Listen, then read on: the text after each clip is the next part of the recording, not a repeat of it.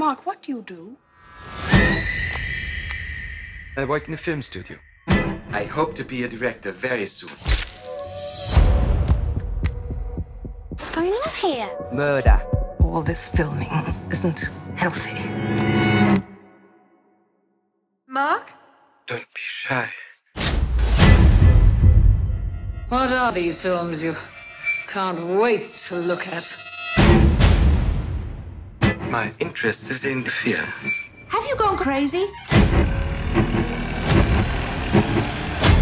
Yes. Put that camera away!